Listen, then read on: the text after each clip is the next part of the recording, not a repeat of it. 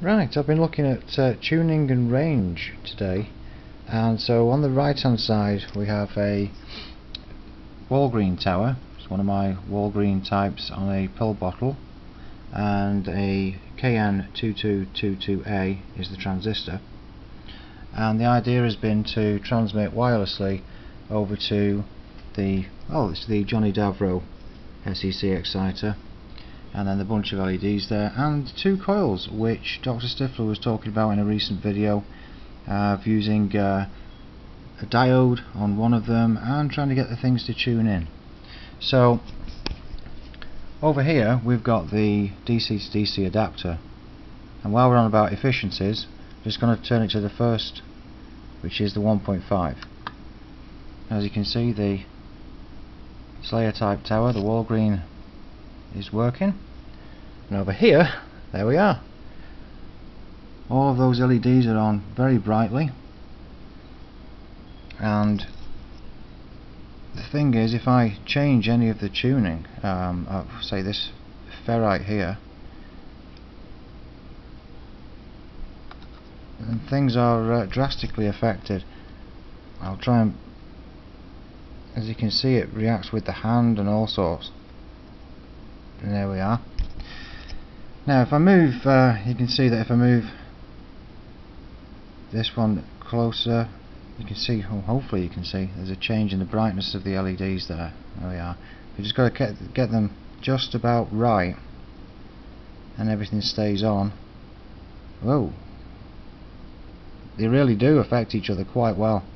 It is really interesting uh, well the whole thing's more more absorbing than a ShamWow right so if we look at the range with this LED and we can see it goes to about there so we're already looking at a, a distance away from uh, an AV plug or a, uh, setup like this which is a small coil and four diodes as a bridge rectifier. We can see that it's further than that normally very efficient setup and yet we're still picking up a heck of a lot there.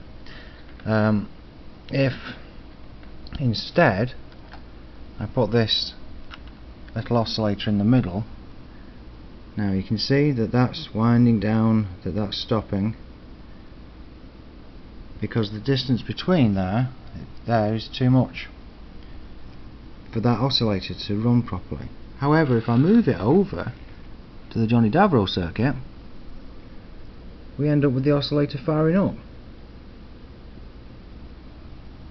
The receiving idea here is what I've got going into the, the circuit is an AV plug with a 104 ceramic capacitor then the length of wire there to an inductor. I don't know if it needs it or not actually um, but that came from a circuit board and then a lump of aluminium made into a ball at the top. It's rather like uh, the Colorado Springs Tesla setup perhaps. Uh, anyway it works. It works great so as I say we're on 1.5 volts here. And this has all been about the tunings today. I've got the ferrite rod on the inside. I can show you well if I move this ferrite rod as well you can see that it goes out of tune. You can let go. And try and bring it back. There we are. Bring it back into the strongest again I'm very pleased uh, indeed with this, uh, seeing it's going from 1.5 volts there.